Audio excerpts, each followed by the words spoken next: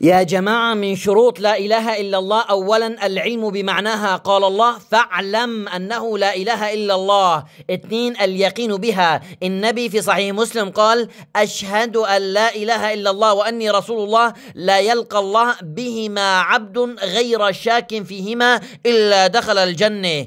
ثلاثة الإخلاص.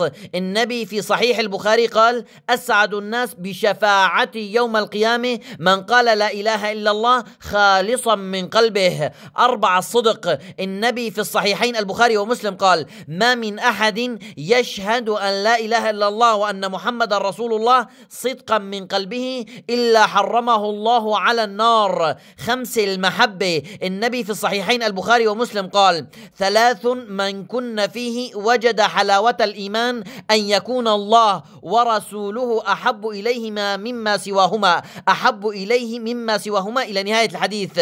ستة الانقياد. قال الله ومن أحسن دينا ممن أسلم وجهه لله وهو محسن. سبع القبول سواء باللسان والقلب والجوارح. قال الله عن أهل الكفر إنهم كانوا إذا قيل لهم لا إله إلا الله يستكبرون. هذا والله أعلم. سلام عليكم.